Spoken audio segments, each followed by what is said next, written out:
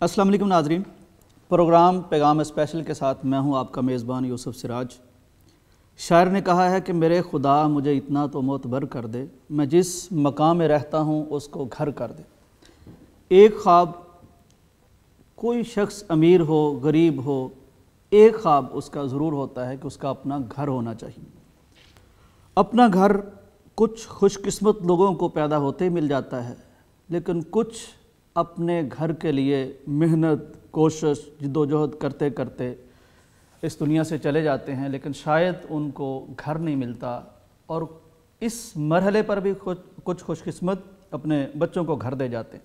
तो ये एक जो ख्वाब है हर शख्स का, अपना घर होना, इसमें मुश्किल क्या हैं, आसानियाँ क्या हैं, मार्केट में इस मामले में क्या फ़्रॉड हो रहे हैं। इस हवाले से आज हमारे साथ एक खसूसी मेहमान मौजूद हैं, जनाब बशारत हमीद साहब। बशारत हमीद साहब अलहमीद कंस्ट्रक्शन के नाम से एक अरसे से काम कर रहे हैं तामीरात के शोबे में, और बड़ा नेक नाम है इनका नेक नामी कमाई है इन्होंने। सोशल मीडिया एक्टिविस्ट भी हैं, और समाजी मौजूद पर, सोशल मीडिया पर लिखते रहते हैं, और बड़ा मरूफ नाम है। और इसी तरह आपने एक तमीर मस्कन के नाम से किताब भी लिखी है। ये बड़ी अहम बात है कि तमीरत के मामले में इसमें गाइड करने के लिए लोगों को ये इन्होंने किताब लिखी और इनकी किताब माशाल्लाह बड़ी मकबूल है। हमने फ़ायदा उठाया आपसे कि ये जो चीज़ें इन्होंने किताब में लिखी हैं, ये आम लोगों के लिए टीवी के ज़रिए से भी उनकी गाइडेंस हो, उनकी रहनमाई हो। तो इसी हवाले से आज बशारत हमीद साहब हमारे साथ मौजूद हैं। बहुत शुक्रिया बशारत हमीद साहब। पहले तो ये बताइए कि ये किताब लिखने का ख्याल आपके जहन में कैसे आया? बहुत शुक्रिया यूसुफ भाई, आपने अपने प्रोग्राम में मुझे दावत दी। किताब ये लिखने का ख्याल इस तरह आया कि मैंने जुनेद जमशेद का कुछ अर्सा पहले एक क्लिप देखा था जिसमें उन्होंने कारोबारी लोगों से खिताब किया था। उसमें उन्होंने ये कहा था कि आप कोई कारोबार करें कोई बिज़नेस करें तो लोगों को फ़ायदा पहुँचाने की उसमें सोच रखें। आप लोगों को फ़ायदा पहुंचाएँगे तो अल्लाह ताला आपका फ़ायदा बेशक। करेगा। तो मैंने जब ये काम शुरू किया मैं पहले इससे पहले एक मल्टीनेशनल कंपनी में ग्यारह साल में जॉब करता रहा हूँ टेक्निकल डिपार्टमेंट में। उसके बाद ये मेरा एक ख्वाब था कि मैं अपना कंस्ट्रक्शन का काम करूँगा जब भी मैंने किया। जब मैंने ये काम शुरू किया तो मेरे दिन में यही था कि इसमें लोगों को सच्चाई के साथ एक हमने सोल्यूशन देना है। बहुत सारे लोग हैं जो घर भी बना रहे हैं इवन प्लाट सेल परचेज भी कर रहे हैं, लेकिन उसमें अक्सरियत झूठ और धोखे से काम लेने वाली है। एक आम बंदा जो अपनी जमा पूंजी लेके बाज़ार में निकलता है कि मैं कोई अपने घर के लिए प्लाट ख़रीदूँ और इस पर फिर मैं घर बनाऊँ तो उसका वास्ता ऐसे ऐसे लोगों से पड़ता है कि जो एक जाल बिछा के अपना बैठे होते हैं और इस तरह के वो जिस तरह भेड़िए और बकरी का देखें कम्बिनेशन अगर दिन में रखें तो इस किस्म का माहौल हमें माशरे में नज़र आता है। तो मेरे दिन में ये था कि कारोबार जो है इसको भी इबादत समझ के किया जाए। बेशक। जो भी आप काम करें अगले दूसरा जो आपका कस्टमर है जो आपका क्लाइंट है उसका फ़ायदा सोच के करें। अपना फ़ायदा तो होना ही होना है लेकिन उसके साथ साथ आपकी ज़ात की वजह से किसी दूसरे को फ़ायदा हो। जब मैंने ये काम शुरू किया तो उसमें शुरू में मुझे भी बड़ी मुश्किल आई। और उसमें बहुत सारे ऐसे मसाइल आए जो एक आम बंदा एक फेस करता है। उन मसाइल की बिना पे आ, मेरे दिन में एक दफ़ा ख्याल ये आया कि एक यूट्यूब चैनल बनाया जाए जिसके ज़रिए हम लोगों को इस बारे में रहनमाई दें स्टेप बाई स्टेप के ज़मीन की खुदाई से लेके ऊपर आपका पूरा बिल्डिंग ब्लॉक खड़ा हो किस तरह उसमें कौन कौन से स्टेप्स होते हैं और किस तरतीब से वो स्टेप्स आते हैं। क्योंकि बहुत सारे लोगों को इन चीज़ों का पता नहीं होता। बंदा जितने ज़्यादा मशवरे करेगा उतना ज़्यादा कन्फ्यूज़न उसकी बढ़ती जाती है। तो वो कोई डिसीज़न दुरुस्त तरीके से नहीं ले पाता। तो उस यूट्यूब चैनल के लिए मैंने कुछ टॉपिक्स लिखे, क्योंकि मैं समाजी मौजूद पे लिखता रहा हूँ पहले सोशल मीडिया पे फेसबुक पे भी। तो वो टॉपिक लिखे, फिर उनकी थोड़ी मैंने डिटेल लिखी और उसको मैंने फेसबुक पे शेयर करना शुरू कर दिया। उसका जो फीडबैक आया, उसके बाद मोहतरम आमर खाकवानी भाई, मैं समझता हूँ कि इस किताब को लिखवाने में उनका एक बहुत अहम रोल है। अगर वो मुझे मोटिवेट ना करते तो शायद मैं ये काम ना कर पाता। अल्लाह ताला का फजल करम तो बहरहाल शामिल हाल जी यकीन लेकिन इसबाब भी मोटिवेशन भी मोटिवेशन बहुत अहम है। तो आमर भाई ने मुझे मैसेज किया कि ये जो आपने सिलसिला लिखा है ना बड़ा अच्छा लिखा है इसको आप एक तरतीब दें और मुझे भिजवाएँ अपने संडे मैगजीन के लिए। तो मैंने उसको थोड़ा जब उनवानात के हिसाब से लिखा तो मुझे खुद बड़ा अच्छा लगा कि एक बड़ा वो हेल्पफुल हो गया लोगों के लिए। एक आसानी से समझ आने वाली बात हो गई है। वो सिलसिला उनके मैगज़ीन में कुछ तीन चार किस्तों में मुकम्मल किया। उसके बाद अमर भाई ने मुझे ये कहा कि इसकी पीडीएफ मैं आपको बनवा के देता हूँ और आप इसको प्रिंट करवा लीजिएगा।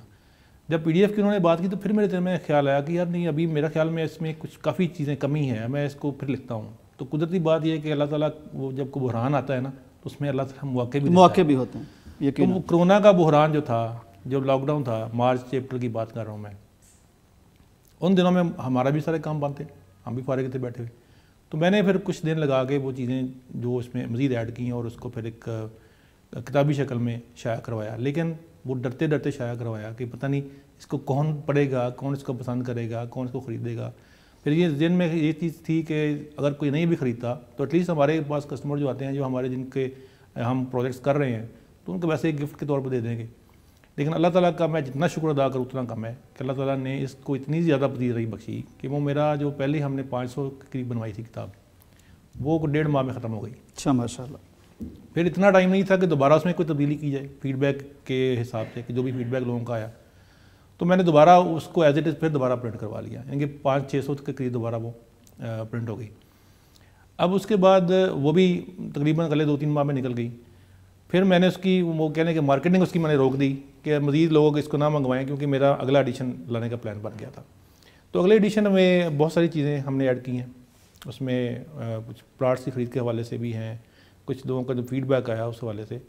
तो इस तरह ये तमीर मस्कन का सेकंड एडिशन आपके हाथों में है। नहीं बड़ी अच्छी बात है जी ये बहुत अहम मौजू है और बहुत अहम ज़रूरत है और इस मौजू पर चीज़ें दस्तियाब भी नहीं है इस तरह। तो बहुत अच्छी चीज़ है। हम आगे बढ़ते हैं जी। हम आपसे ये पूछते हैं, आपकी एक्सपर्ट ओपिनियन कि एक प्लाट ख़रीदना बड़ी बुनियादी चीज़ है। ज़ाहिर है जब आप घर बनाते हैं तो पहले प्लाट ख़रीदते हैं। तो प्लाट ख़रीदने में किन किन चीज़ों को मद्द, नज़र रखना ज़रूरी है? देखें यूसुफ भाई, सबसे पहले तो आपका बजट कितना है, इसको ध्यान में रखना पड़ता है। फिर आपकी पसंद क्या है? कि आप किस किस्म का इलाका पसंद करते हैं? आजकल सोसाइटीज़ का ट्रेंड है लोग चाहते हैं कि एक वेल ऑर्गेनाइज माहौल हो जहाँ पे पार्क्स हों जहाँ पे सिक्योरिटी हो और सारी चीज़ें गेटेड कम्युनिटी हो। लेकिन बाद लोग अभी भी ऐसे हैं जो गली मोहल्ले में रहना पसंद करते हैं और वो वहाँ से नहीं निकलना चाहते। उसकी कई वजूहत हो सकती है। अटैचमेंट अटैचमेंट है, है रौनक इलाके में रहना पुरानी वो बचपन की यादें हैं या हम्म। कोई रिश्तेदारी है तो ये सबसे पहले ये डिसीज़न आपने करना है कि आप किस किस्म की वो रहायश चाहते हैं। मेरी राय में तो घर मस्कन ये तमीर मस्कन की मैंने नाम रखा है इसका? मस्कन सुकून की जगह। तो घर जो है वो तो सुकून की जगह होना चाहिए। वहाँ पे अगर शोर शराबा है वहाँ पे ट्रैफ़िक के मसाइल हैं वहाँ पे डस्ट है तो वो सुकून तो शायद हम्म। कुछ लोगों को मिल जाए लेकिन मेरी राय में तो वो है कि आप पुरसकून इलाके में आपका घर होना चाहिए। बिल्कुल सही तो सोसाइटीज़ में अगर जाएँ तो बहुत फ्रॉड होता है इसका हल क्या है? देखिए सोसाइटी में प्लॉट लेने के लिए ना कुछ चीज़ें आपको जहन में रखनी पड़ेंगी पहले। हम्म। उसमें यह है कि बहुत सारे लोग ऐसे हैं जो डेवलपर्स हैं और इवन के यहाँ पे ऐसी मिसालें भी मौजूद हैं जिन लोगों के पहले प्रोजेक्ट बड़े कामयाब गए हैं। उन्होंने अपने एक्सटेंशन में या अपने दूसरे प्रोजेक्ट्स में लोगों के साथ फ्रॉड किया है और उनके केसेस नैब में भी रिपोर्ट हुए हैं।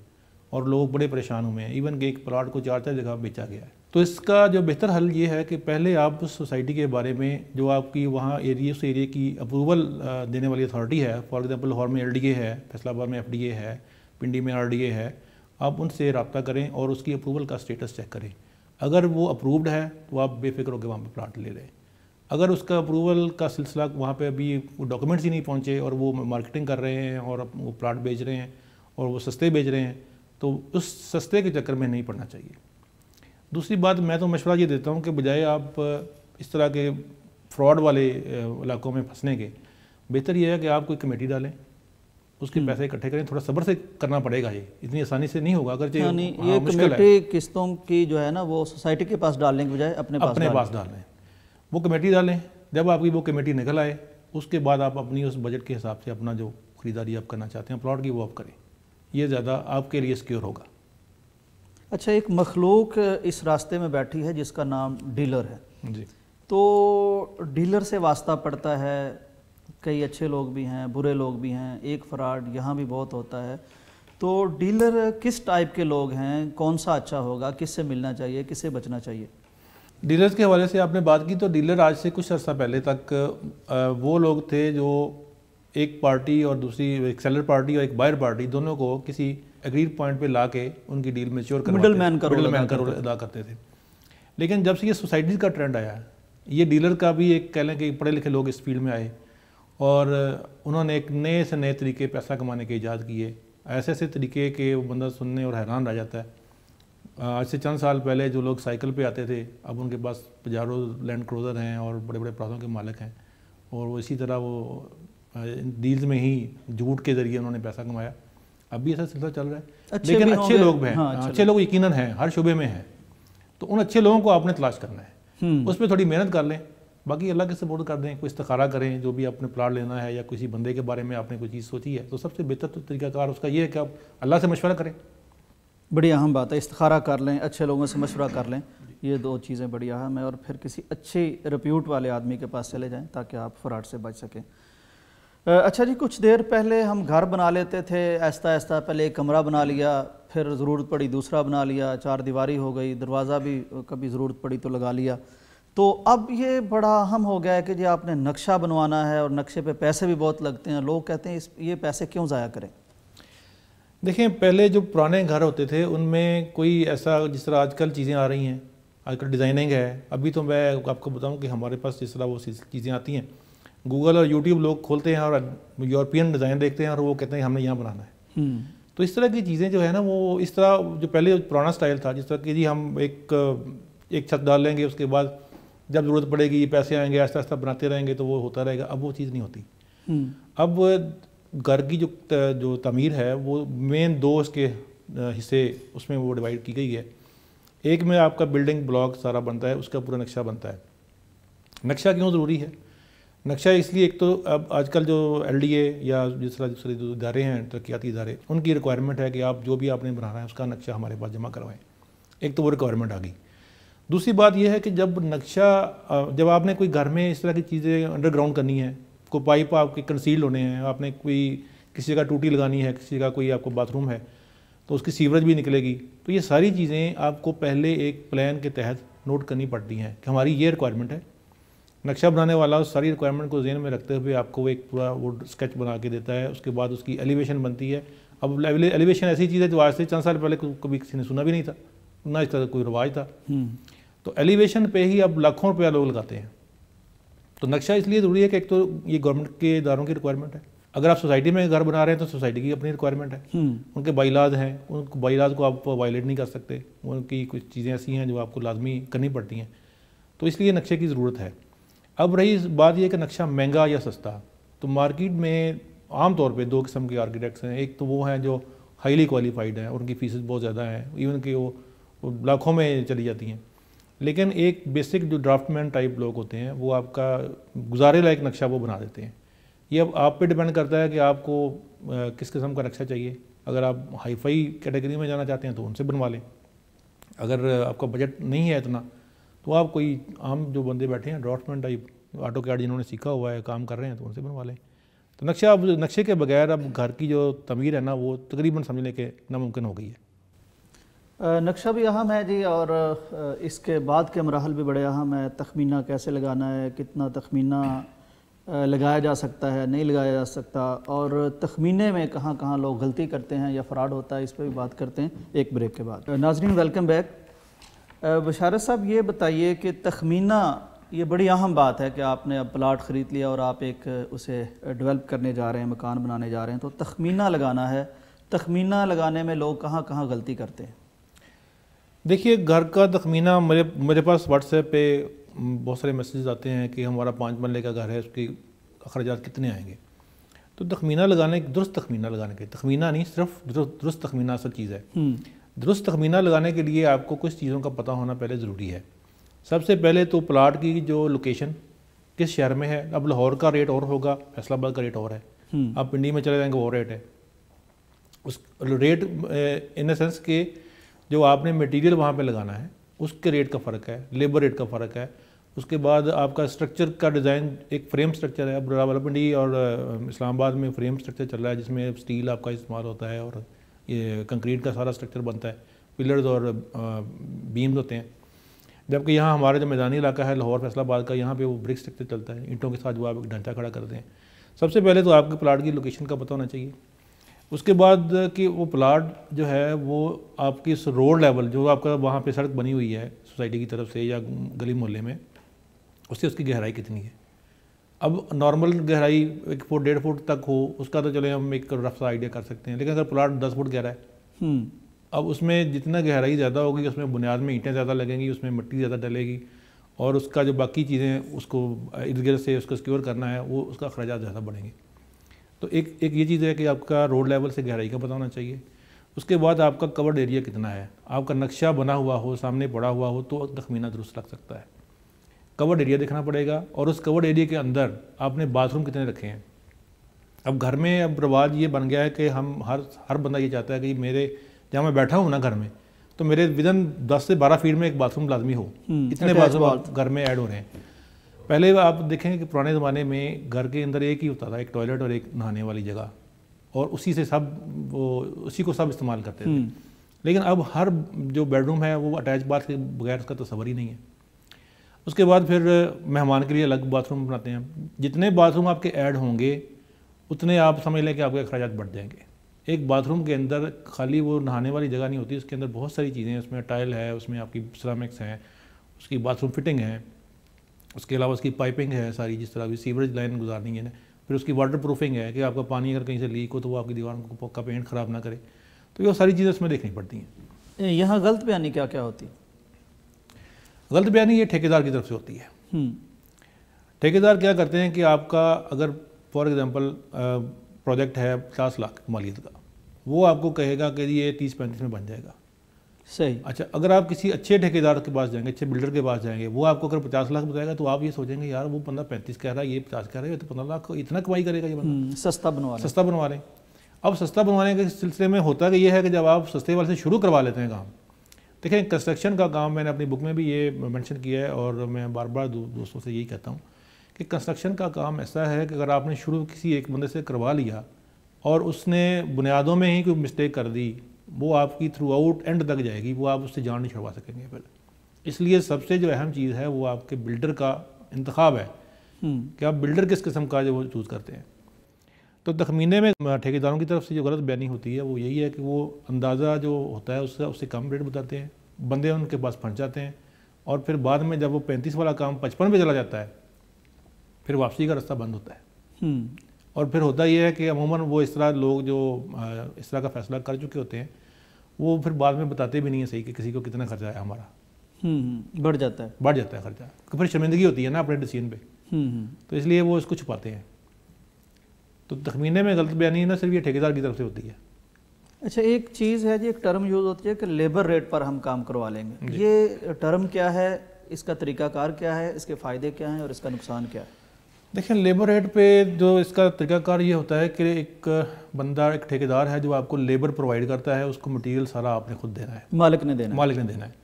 उसमें फ़ायदा उस सूरत में होता है अगर आपको काम का अंदाज़ा है आप काम के जो मौजूदा ट्रेंड चल रहे हैं आजकल जिस तरह वो चीज़ें आ रही हैं नई से नई और आपको उसका अंदाज़ा है तो फिर आपको फ़ायदा हो सकता है। अगर आप नक्शे को थोड़ा बहुत समझते हैं इस काम को समझते हैं और मटेरियल की क्वालिटी को भी कुछ समझते हैं। लेकिन अगर आपको इस काम का बिल्कुल नहीं पता आपका पहला एक्सपीरियंस है तो फिर मेरा मशवरा ये है कि आप किसी अच्छे बिल्डर से वो विद मटेरियल काम करवाएँ और पुरस्कून होकर बैठ जाएँ आराम से।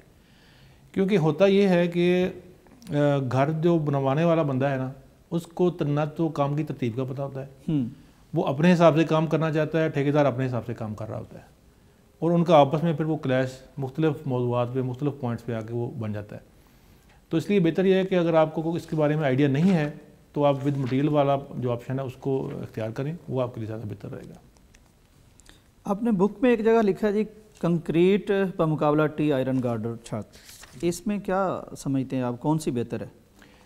देखिए सोसाइटीज़ में तो ये टी आर एन गार्डर वाला सीन अब नहीं होता।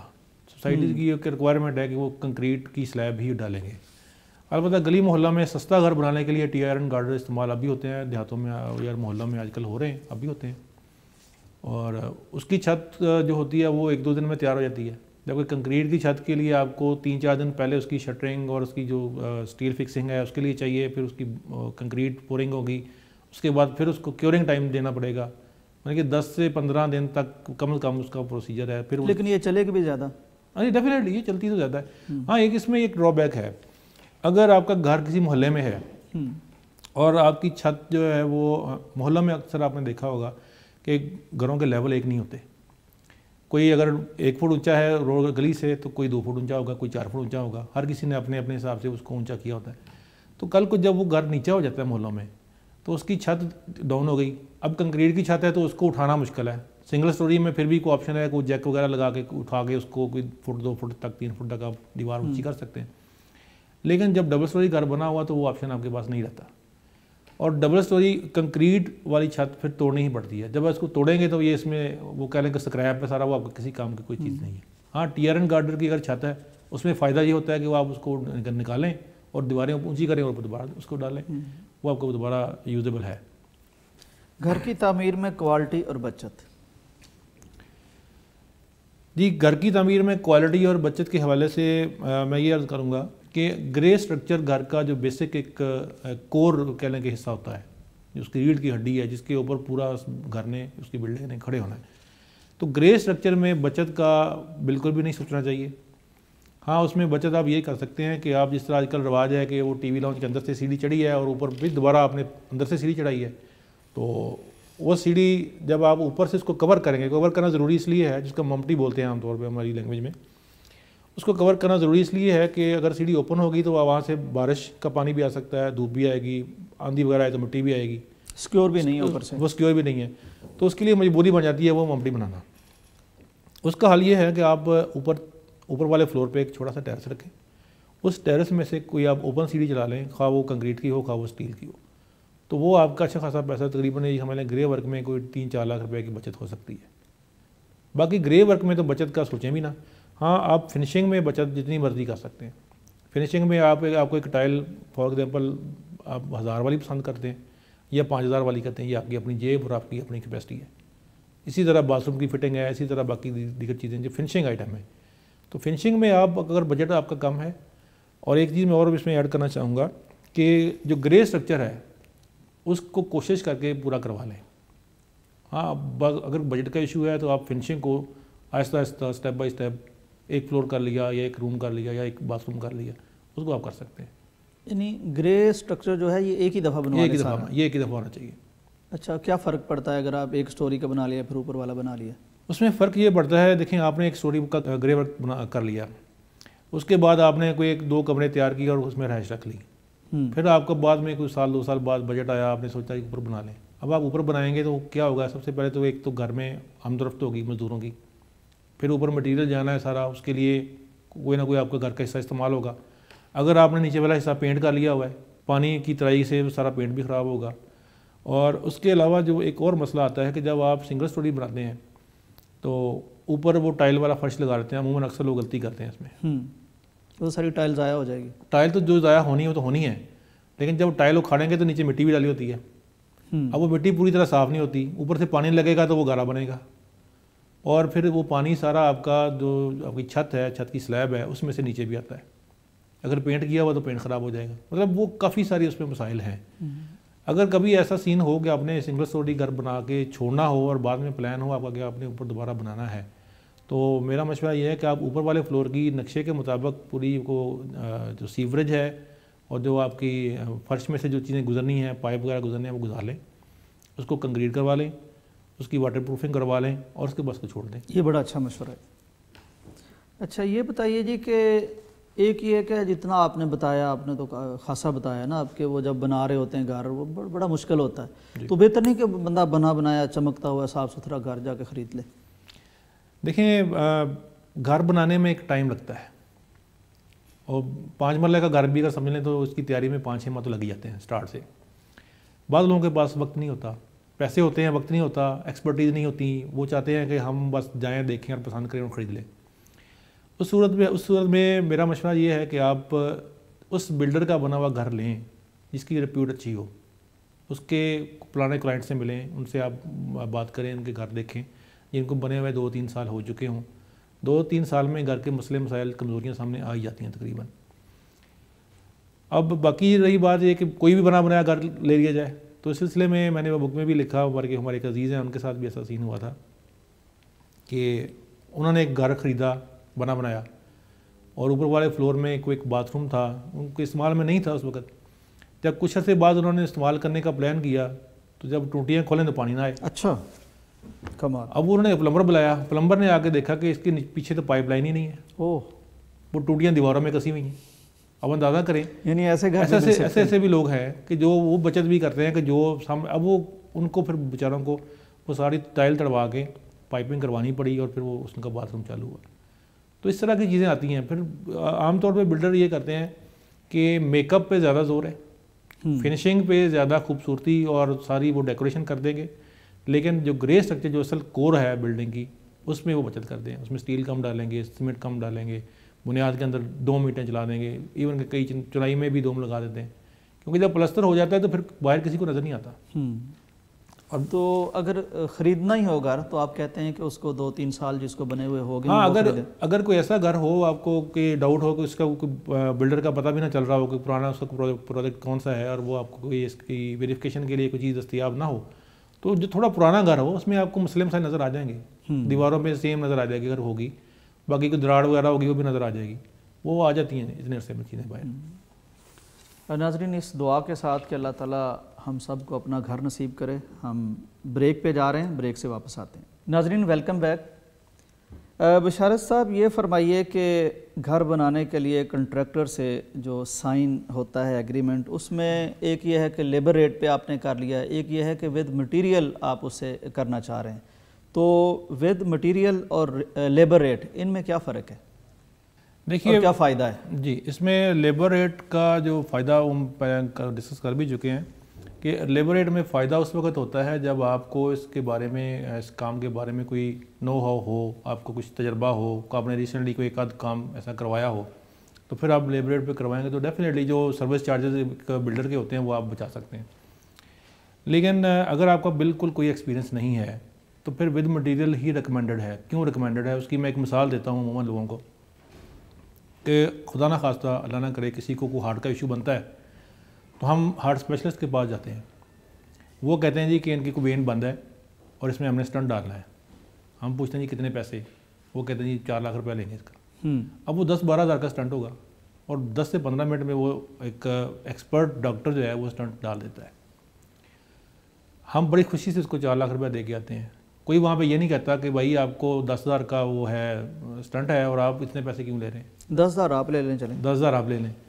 तो कहने का मकसद ये है कि हम उस पर ये बिलीव रखते हैं कि ये बंदा अपने काम का माहिर है और ये हमारे उस पेशेंट को एक पूरी पूरी तवज्जो के साथ उसका वो स्टंट जो डालेगा। कोई ये नहीं कहता कि भाई दस हज़ार का स्टंट लेके मैं खुद डालूँगा मैं बाकी पौने चार लाख बचा दूँ। हम्म, तो इसी चीज़ को आप हर शोबे में मुंतबिक कर सकते हैं। अगर एक बिल्डर आपसे सर्विस चार्जेस लेता है फॉर एग्ज़ाम्पल आपके टोटल कास्ट का वो दस बारह पंद्रह परसेंट देता है हम्म, तो उसने अपने एक्सपर्टीज़ के ही पैसे लेने हैं। अगर आप उसके साथ कोई ऐसा रेट तय करेंगे कि जो रेट उसको मार्केट में भी अवेलेबल ना हो हम्म, तो फिर वो वो कई लोग ऐसे भी हैं वो कहते हैं जी आप रेट कम करवा लें हमने आप आप में से निकालने हैं पैसे। हर बंदा रोज़ी के लिए काम करता है। कोई भी है कोई जॉब कर रहा है कोई बिज़नेस कर रहा है। यानी अगर जायज़ तरीके से नहीं देंगे तो वो किसी हाँ, नाजायज़ अगर वो निकालेगा जाय- जायज़ तरीके से नहीं उसको मिलेगी तो वो फिर दो नंबरी सोचेगा। यही चीज़ अभी मेरे दिल में पॉइंट आ गया कि जब हम डीलर के साथ को डील करते हैं प्लाट की उसमें बहुत सारी पार्टीज़ ऐसी हैं जो बड़ी सियानी बनती हैं। वो डीलर को बाईपास करके दूसरी पार्टी के साथ डायरेक्ट हो जाती हैं। मकसद क्या होता है कि जो उनका कोई बीच में कमीशन आया एक परसेंट दो परसेंट वो बचा लें। इस चीज़ ने डीलर को फिर मजबूर किया कि वो अपना खुफिया हिस्सा रखें। हम्म, अब वो उनका तरीकाकार ये होता है कि एक प्लाट आपने सेल करना है फॉर एग्जांपल आप सेलर हैं आपने कहा जी मैंने पचास लाख में देना है। आपसे वो तय कर लेंगे पहले तो आपको ये कहेंगे कि पचास तो इसकी रेट ही नहीं है। आपको ऐसा वो जवाब देंगे डिस्करेज कर देंगे कि आप Misguide करेंगे। मिसगाइड करेंगे और रेट ऐसा बताएँगे कि आप परेशान हो जाएँगे कि यार इतना सस्ता है, मैं कैसे दे दूँ? वो कहेंगे जी ये तो, तो पूछते ही कोई नहीं है तुम। तो फिर आप खैर कुछ वक्त गुजरेगा। एक, एक इसमें एक बड़ी अहम चीज़ होती है ना वो डीलर का होता है कस्टमर की नफ्सियात के साथ खेलना। डीलर को पता है किस बंदे ने बेचना है ये मजबूर है इसको थोड़ा सा लटकाएँगे तो ये इतने में दे देगा। हम्म, फॉर एग्ज़ाम्पल वो आपके साथ पैंतालीस लाख रुपए का रेट तय कर लेते हैं। अब वो जो बायर है, उसे कहेंगे, जी, प्लाट तो मिल ही नहीं रहा कोई भी। वो एक एक आध मैंने ढूंढा है, वो इतने वो वो आपको पचपन लाख में मिलेगा। अब वो बंदा चले, वो कोई बार्गेनिंग करेगा, कोई बावन पे, पचास पे, वो अट जाएगा। होता ये है कि उससे उन्होंने टोकन बयाना पकड़ लिया और आपको पैंतालीस पे बाँध लिया, उसको पचास पे बाँध लिया, दरमियान वाला पाँच लाख अपनी जेब में डाल लिया। इस तरह ये डीलर अपनी कमाई निकालते हैं। और जो मैंने पहले बात की कि जिस तरह वो आज से कुछ साल पहले वाले जो साइकिल पे आने वाले अब लैंड क्रूजर पे फिर रहे हैं तो ये इसी तरीके से फिर रहे हैं। तो इसका मतलब है कि आप उनका हक उन्हें देने की कोशिश करें। बिल्कुल दें। ताकि वो ईमानदार आदमी है तो वो मजबूर ना हो आपके साथ फ्रॉड करने पर बिल्कुल ये असल बात ये है कि हमारे यहाँ ना सिर्फ़ दुकानदार फ्रॉड करता है झूठ बोलता है कस्टमर भी झूठ बोलता है। मैं आपको अपना एक वाक़ मुझे याद आ गया। मैं कुछ अर्सा पहले एक स्पेयर पार्ट्स का भी काम करते थे कई साल पहले की बात है। तो हमने ये तय किया कि हम ना वो ऑयल और फ़िल्टर वो जिस रेट पे हमें हमारी परचेज होगी हम उसी रेट पे देंगे फॉर मार्केटिंग पर्पज़ कई लोग ऐसे आए कि पचास रुपये का फ़िल्टर है ना उसको बताया कि इसकी कीमत पचास रुपये है। कहता जी वो पिछले वाला तो पैंतीस में दे रहा है। मतलब ये गाय गा की साइकी है हम्म। कि उसने वो एक झूठ लगाना होता है। और जो बंदा जो दुकानदार शरीफ आदमी हो वो बेचारा परेशान होता है यार पचास में तो मैं खुद ले रहा हूँ पचास में दे रहा हूँ अब इसको पैंतीस में कहाँ से मिल गया? तो ये चीज़ें हैं अगर कस्टमर भी एक दुकानदार का, एक डीलर का, एक बिल्डर का ख्याल नहीं करेगा ना तो फिर अल्टीमेटली वो दो नंबरी करेगा। बशारत साहब ये फरमाइए कि विद मटेरियल अगर डील हो जाती है, ज़ाहिर है एक्सपर्ट नहीं है मार्केट का पता नहीं है या वक्त नहीं है तो लेकिन वो किसी एक्सपर्ट आदमी के साथ ये डील कर रहा है कि आप मटेरियल भी खुद लाएँ और इसको बना के दे दें, पैसे मैं देता हूँ। क्या कुल्ली तौर पर छोड़ दे सारा कुछ उस पर या कुछ ऐसे चीज़ें हैं कि बंदा उनको चेक करता रहे कि ठीक काम हो रहा है कि नहीं हो रहा? देखिए जी मेरा जो अपना ज़ाती एक्सपीरियंस मैं आपको बताता हूँ कि हमारे पास जो भी एक तो ये है कि ये काम रेफरेंस से ही चलता है। जिस बंदे ने 25-30 लाख का भी घर बनाना है ना वो भी देखता है कि मुझे कोई बंदा अच्छा ही मिले तो मैं उसको अपने ये पैसे दूँ कोई फ्रॉड करके भाग ना जाए। हम्म, तो मेरा जो ज़ाती एक्सपीरियंस है ना उसमें जो नया कस्टमर होता है ना वो हमारे साथ बुनियाद के जो डैम्प लेवल तक उसकी जो सारी वो होती है कुछ थोड़ा वो मसले मसाइल जो उसको होते हैं वो इतमाद डेवलप होने में इतना टाइम हमें लगता है। तो वो हफ़्ता दो हफ़्ते के बाद उसको पता चल जाता कि यार ये बंदा गलत का बात नहीं करता गलत काम नहीं करता झूठ नहीं बोलता तो फिर वो रिलैक्स हो जाते हैं। मेरा अपना जो ज़ाती एक्सपीरियंस वो ये है। आपने बात की कि मुआदा करके इसको छोड़ देना चाहिए बिल्कुल भी नहीं छोड़ना चाहिए। आप एग्रीमेंट करें स्टेप बाय स्टेप पेमेंट का। हर हर स्टेप आपका पूरा हो तो अगली पेमेंट करें। हाँ अगर आपका कोई ऐसा ट्रस्ट लेवल डेवलप हो जाता है तो फिर कोई इशू नहीं है। एतमाद की बात है सारी। एतमाद के बगैर तो आप किसी दूसरे बंदे के पास दस मिनट भी नहीं बैठ सकते। हम्म, तो एग्रीमेंट में ये जो जो चीज़ें होती हैं ना उसमें थोड़ी सी चीज़ें वादे कर लें क्लियर कर लें। अब होता ये है कि कस्टमर मार्केट का रेट एक फॉर एग्जांपल लाहौर की मैं बात करूँ तो तेरह सौ चौदह सौ पंद्रह सौ तक वो ग्रे ग्रे वर्क का रेट है। अब जिसने तेरह सौ रुपया रेट देना है उसने भी ईंटें मार्केट से परचेज करनी है। एक चीज़ मैं और आपको बताऊँ कि बाज़ बिल्डर हजरात ऐसे हैं जो ऐसी ऐसी कहानी सुनाते हैं कि कस्टमर को। वो कहते हैं जी कि हमारा तो भट्टे वालों के साथ रोज़ का काम है आपको अगर वो तेरह हज़ार में ईंट देंगे हमें तो दस हज़ार में मिलेगी। ऐसा ऐसा हरगिज़ नहीं है। अच्छा। ऐसा बिल्कुल भी नहीं होता। हाँ वो ये हो सकता है कोई दो सौ रुपया चार सौ पाँच सौ कम कर दे कोई बटे वाला कि जी मेरा ये एक, मुस्तकिल क्लाइंट है। लेकिन इतना ज़्यादा फ़र्क वाला मामला नहीं होता। और जब कस्टमर को रेट वो कम रेट पे देते हैं ना तो उसमें कुछ चीज़ें ऐसी होती हैं जो वो अपने वो कहते हैं ना जी कारोबारी दा वो लगाते हैं उसमें। उसमें उन चीज़ों के रेट ईंट का रेट उन्होंने कम तय किया होगा। उसमें स्टील का रेट कम लिखा होगा कि इस रेट का स्टील हम डालेंगे। उसको चेक करवाना है आप अपनी तसली के लिए अपने किसी भी जाने वाले बंदे से। वो, वो कोई आपका कोई सिविल इंजीनियर हो या कोई भी हो उसको आप साइड पर विज़िट करवाएँ चेक करवाएँ। आपको हम अपने काम की गारंटी देते हैं, हमारे काम में कोई मसला हो, हम उसके ज़िम्मेदार हैं। अगर आपको कोई चीज़ गलत, हमारी तरफ़ से कोई गलती हो गई है और आप समझते हैं कि ये मेरा काम दुरुस्त नहीं हुआ तो हम उसको गिरा के दोबारा करके देने के तैयार होते हैं। हमें तो उसमें कोई मसला नहीं होता। हमारा पर्पज़ ये है कि हमने कस्टमर को एक ऐसा घर बना के देना जिसमें उसको सुकून आए, ना कि वो बाद में सारी ज़िंदगी हमें बदवाएँ देता रहे। हम्म। अच्छा आखिर में ये बनता रहता है एमओयू साइन हो गया आपका एग्रीमेंट साइन हो गया चलता रहा। आखिर में देखा गया कि कई दफ़ा ना लड़ाइयाँ भी हो जाती हैं बिल्डर में और माल के मकान में। ये आखिर में सुलह से सफ़ाई से अलग क्यों नहीं होते? असल में उसकी बेसिक वजह वही है कि जब मुआदा होता है ना उसकी वायलेशन होती है। और दूसरी बात ये कि जब बजट जब एक एस्टिमेट आपने दिया है पचास लाख का हम्म, अब वो पहले बात जो पहले भी हो चुकी है कि एक बिल्डर सच्चा बिल्डर जो है वो आपको एस्टिमेट पूरा देगा। जब आपने कम एस्टिमेट वाले बंदे से काम करवाना है ना तो फिर आखिर में लड़ाइयाँ ही होनी है। हम्म, जब वो पैंतीस वाले से आपने काम करवा लिया जब वो पचपन पे ले गया आपको बीस लाख का आपका ऐड हो गया तो आपको तो परेशानी होनी है। अगर वो बंदा आपको पहले बता देता कि भाई ये पचास लाख का काम है आप पचास से पचपन दिन में रखें इतने आपके लग जाने हैं तो आपको बंदोबस्त करने में आसानी होती है आपको परेशानी नहीं होती किसी से उधार नहीं पकड़ना पड़ता या काम रोकना नहीं पड़ता। तो लड़ाइयों की बेसिक वजह यही है कि आपने सस्ता समय के बंदा पकड़ा उससे काम शुरू करवाया। जब आपने शुरू करवाया तो आपको वो भागने नहीं देगा। ना आप भागेंगे, ना वो भाग सकते हैं। तो फिर एंड में जाके जब बजट के इश्यूज़ आए या कोई टाइम का मसला बना और उसमें ख़राबियाँ आनी शुरू हुई, फिर कोई लेबर के मसाइल हैं, कभी ये होता है कि ठेकेदार ने पैसे ज़्यादा ले लिए और वो काम डिले कर रहा है लेट नहीं लेट कर रहा है तो उसमें भी परेशानी होती है। तो ये लड़ाइयों की आम वजह होती है। बिशार साहब, बहुत शुक्रिया आपके वक्त का। नाजरीन, ये चंद चीज़ें बाकी आप ये किताब भी पढ़ सकते हैं, इसमें सारी चीज़ें लिखी हैं। वो ये हैं कि एक तो प्रॉपर और ठीक आदमी का इंतखब करें और ये आप महल्ले में इर्द गिर्द से जानकर किसी भी शख्स के बारे में मालूम हासिल कर कर सकते हैं कि उसका सबका रिकॉर्ड कैसा है। अब फिर उस बंदे के साथ मुखलिस होकर आप चलें एग्रीमेंट कर लें, लिख लें जो चीज़ें हैं, उनके मुताबिक ख़ुद भी चलें, उन्हें भी चलाने की कोशिश करें, ना उनका नुकसान करें, ना अपना करें। और फिर जो काम हो रहा है, ये बड़ी अहम बात हुई कि आप किस्तों में पेमेंट करें। इतना हो गया है, इतने पैसे आ गए और फिर उस काम को बाज़ार से, किसी सिविल इंजीनियर से चेक भी करवा लें। अहम तरीन बात यह हुई कि आप पैसा बचाने के चक्कर में कहीं भी अपना नुकसान ना करें। अपना नुकसान पैसा बचा के ही आप करते हैं। खा वो आप प्लाट ख़रीदने, ख़रीदते वक्त पैसा बचाने के चक्कर में किसी गलत बंदे के हाथ चढ़ जाते हैं, नक्शा बनवाते हुए किसी गलत बंदे के हाथ चढ़ जाते हैं, या बचत करते हुए आप मजबूर करते हैं ठेकेदार को, कॉन्ट्रैक्टर को कि वो गलत चीज़ आपके मकान में लगा दे। आखिर में रहना आपको है, भुगतना आपको है। दुआ है कि अल्लाह ताला हमें अपने अपने घर दे और आसानी से अपने घर दे। इजाज़त दीजिए। अल्लाम